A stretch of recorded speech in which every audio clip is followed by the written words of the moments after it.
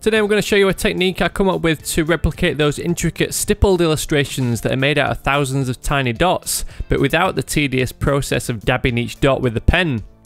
When it comes to traditional art styles like this, the best results are always achieved by painstakingly working by hand for hours on end, but I think this digital effect actually looks pretty authentic. We'll create a series of patterns which will help us fill out the spread of dots much faster, then we'll use some simple filters to apply the stippling to an image. So first we need to create our stipple patterns to save us from manually placing them one at a time. Open Adobe Photoshop and create a new document at 500 by 500 pixels. Add a new layer, then go to Edit and Fill. Change the drop down menu to White. Next go to Filter and Filter Gallery, navigate to Textures and Grain, then change the grain type to Stippled, alter the intensity to 51. This grain effect has created a nice spread of stipples, but they're all really small at just 1 pixel in size. Go to Edit, Transform and Scale, then enter 200% in the width and height boxes in the top toolbar. Scaling up the artwork helps soften those hard square pixels, making them larger circular dots that look much more like they're made with a pen. Add another new layer and then go to Edit and Fill. Go to Filter and Filter Gallery again, making sure you select the menu option further down the list, not the one at the top which would repeat the last effect settings. Increase the intensity setting to 61 to increase the density of the spread of dots. Transform and scale this layer up by 200%. Repeat the process with another new layer. You can speed up the process by incorporating some keyboard shortcuts. Use the Command or Control on Windows and Backspace key to quickly fill the layer with white. Add the grain effect again from the filter gallery, increasing the intensity by another 10 pixels, making this one 71. Use the Command and T shortcut to transform and enter 200% in the top toolbar. Repeat the process of creating a new layer and increasing the grain intensity until you get to 100, remembering to scale up the layer by 200% each time. We've now run out of settings available in the grain filter, but we can round off this series of patterns to 10 by duplicating the last layer. Press the Command and J shortcut 4 times. Shift and click the first layer to select all 10 pattern layers, then change the blending mode to multiply. This will render the white backgrounds transparent so each pattern layer builds upon the last. Select just the top layer then press Command and T. Click and drag with the mouse to move the layer in a random direction to offset the dots slightly. Select the next layer down and do the same, shifting this layer in a different direction to mix up the dots so they don't perfectly overlap. Once all the layers are randomly positioned, toggle the visibility of each layer in turn to see the pattern density gradually decrease. With just the first layer visible, go to Edit and Define Pattern. Give it a name of Stipple 1. It's a good idea to copy the word stipple to save you from typing it another 10 times.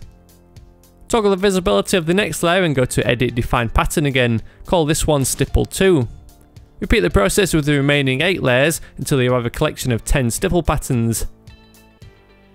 Now this part of the tutorial was pretty repetitive, but at least you now have a collection of patterns you can use for all your future stippling. You can stip straight to the fun bit next time. So next we need an image to apply the stippling effect to. I'm using this portrait photo from unsplash.com as my example. Open your image in Adobe Photoshop. This particular image is 3000 pixels wide, which is a little large for the size of dots we've made, so I'm scaling it down to 2000 pixels. If you need larger or smaller stippling for your projects, just use a figure larger or smaller than 200% when resizing those grain patterns.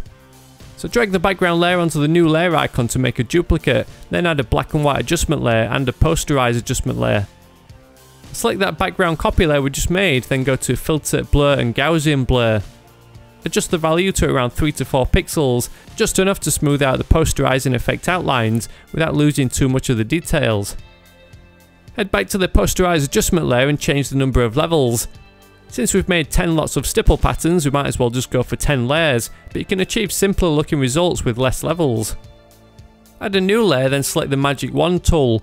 Change the settings in the top toolbar to Zero Tolerance, then deselect Anti-Alias and Contiguous, but make sure Sample All Layers is enabled. Starting with the lightest tone, click with the Magic Wand to load its selection, then go to Edit and Fill. Change the drop down menu to pattern and select the lightest dot pattern. Click the next lightest tone and fill it with the next dot pattern and so on.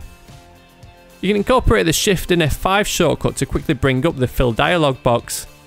Select each posterized layer and fill it with a gradually darker dot pattern to see the image transform into a stipple illustration. When you get to the darkest tones, you might need to temporarily turn off the layer visibility to accurately make a selection, otherwise it tries to sample the existing dots too. Once all the levels have been filled, you have an intricate stippled illustration effect that looks really quite authentic.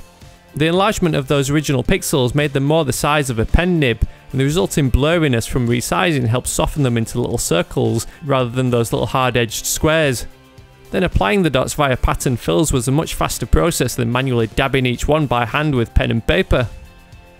So I hope this effect comes in handy for your future projects. If you enjoyed the tutorial or learned anything new, don't forget to subscribe to stick around for more. Big thanks to Squarespace for helping out by sponsoring this video. Don't forget you can get 10% off your first order with the code SPOONER. So as always, thank you very much for watching, and I'll see you in the next one.